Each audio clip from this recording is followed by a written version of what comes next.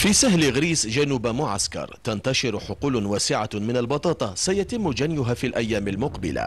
وهناك حقول أخرى بدأت فيها عملية الجني ويقصدها تجار الجملة من كل أنحاء الوطن. بين جاي من تيارت كل عام نشرو منها أنا في أربع سنين خمس سنين كل عام نشرو منها الحمد لله يا ربي.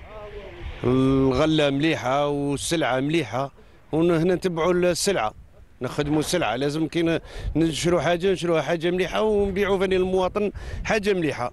الدعم الفلاحي الذي أقرته الدولة ساهم في الحفاظ على المردودية الفلاحية لهذه المادة الاستراتيجية في السوق الوطنية إحنا عندنا الإنتاج هنا في في في المقاطعة غريس حوالي آه، 2548 هكتار. هذاك هذول المساحة المحقق. اغلبيه الفلاحه بداوا يتجنيوا المحصول تاعهم. والمردود هنايا 250 هكتار في الهكتار. وهذا بفضل الأسمدة اللي دعمنا بها وبفضل ال- التجهيزات تاع السقي بال- بالرش وكاين بال- بالتقطير. تم إنجاز أو تم غرس حوالي 5100 هكتار لتعتبر مساحة يعني لا بأس بها.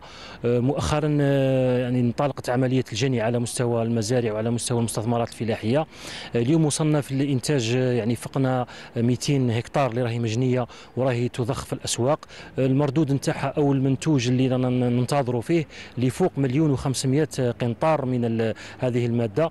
رغم تأثيرات التغيرات المناخية على الإنتاج الفلاحي في سهل غريس مقارنة بالأعوام الماضية إلا أن المصالح الفلاحية والفلاحين يواصلون بذل مجهوداتهم للحفاظ على هذا المورد الزراعي الاستراتيجي للبلد.